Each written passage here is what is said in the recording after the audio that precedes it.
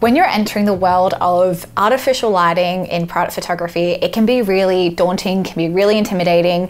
And I know that when I started, I was like, what is a strobe light? And what will it do for me? And I just neglected to learn more about it. I didn't understand it. So, if you are in that position, like I was a couple of years ago, Watch this video, I'm gonna give you the 101 on strobe lighting. Now on a side note, if you are looking into a career in brand photography, I do have an online course called Become a Brand Photographer and essentially this is everything that I have learned in the last three and a half years inside an online course. So it'll teach you lighting, it'll teach you styling, teach you Photoshop editing and Lightroom. It has contract templates in there, email templates, Lightroom presets, how to do a stop motion, all those things. So if you want to check out the course curriculum, I've left a link in the description box below and you can join over 160 students who are inside the course at the moment. And don't forget to use the code YouTube if you want 10% off at checkout. So firstly, what is the difference between a continuous light and a strobe light? A continuous light, when you flick the switch, it stays on, so the light is continuous. Whereas when you have a strobe light, when it's synced with your camera, when you press the shutter button, the strobe will flash a beam of light. So when you actually look at a strobe light and it's on, it doesn't actually look like the strobe is on but it is. Now, when it comes to strobe versus continuous, a strobe light is more bright. So, an issue that I used to have, an issue I see a lot of beginner photographers encounter as well, is they just say, my scene looks dull. It's not bright enough. I can't get my background to be more bright. I can't get my background to be even in lighting.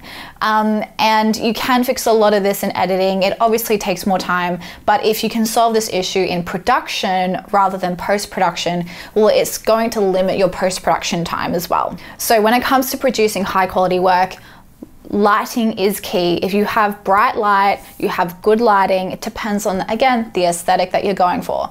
But if you have good lighting, it is really going to help increase the quality of your image. Now I'm gonna tell you guys what strobe light we use and why we use this specific model. And just remember there are so many options out there when it comes to strobe lighting. It really depends on your budget, your requirements. You might need something that's battery powered so you can be more portable with it. It totally depends and I do recommend that you do your own research as well, but I'm gonna tell you what I personally love and recommend. So this one here is the Godox FV150. Now, the reason that we love this light is because it's a hybrid. It is a hybrid of continuous and strobe. So what that means is you can switch with a press of a button between strobe function and continuous function. Now the reason that we love this light, it's really heavy. the reason we love this light is because we do both photo and video. So often when we're out on location, we will be doing both photo and video for our clients. Now strobe obviously doesn't work well for video, you need continuous light. So when we're on set, all we have to do is press a button to switch between a continuous and strobe function so that we can switch between photo and video really, really quickly. So this model here is about $600, so it is a little bit more expensive, but I think it is absolutely worth the investment. Now, if you don't do video, you probably wouldn't use the continuous function all that much.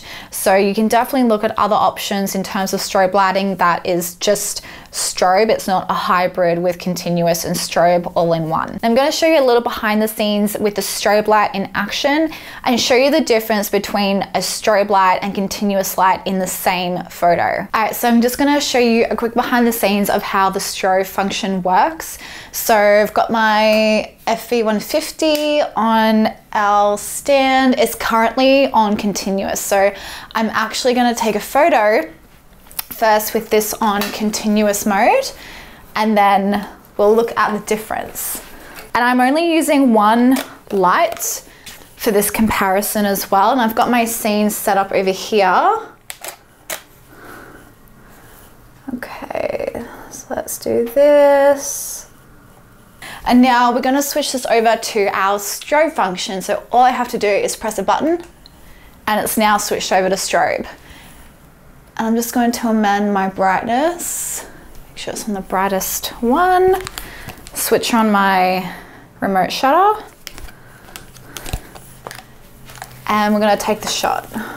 So one of the main benefits I find of using strobe is that you can really pump up your aperture. So if you're using it on a continuous function or you're using continuous lights, which are still great, I use continuous lights for about three years of my career and I have been able to produce some amazing work. Um, but the thing that I struggled with was really upping my aperture because what you have to do if you're using continuous light if you're putting your aperture up to say 5 or 10 to get more in focus, uh, you're probably going to compensate to brighten it up with your ISO. So you're going to be most likely increasing your ISO to maybe 200, 300, 400. It depends. Um, on my Canon, when you pump up your ISO, it starts to lose quality quite quickly. It introduces more grain. Um, Sony cameras are more renowned for their really good low light performance, whereas I find Canon is a little bit different. Also depends on the model of camera that you have. So what you'll notice with this scene here is depth of field. So because we've got products that are up on pedestals here, and then we've got a bit of depth uh, between these products and these products, if I shot this at 2.8 and I'm focusing on say these products, this isn't gonna be in focus. Same thing if I'm focusing on say this product here and I'm shooting at an aperture of 2.8, these products aren't going to be in focus and the labeling will most likely be blurry. Okay, let's have a look at the difference between continuous lighting and strobe lighting. Now, these images are actually raw, straight out of camera. I haven't done any edits on these photos and I've kept all my camera settings exactly the same. All I've changed is the lighting. So you'll notice on the left, it's significantly darker. Um, I also think that the color is slightly off as well. Um, you'll notice that on the background, we have some uneven patches on that beige background. And you'll also notice on the white pedestal on the right, we're getting some blue and green hues. And that's actually from my windows.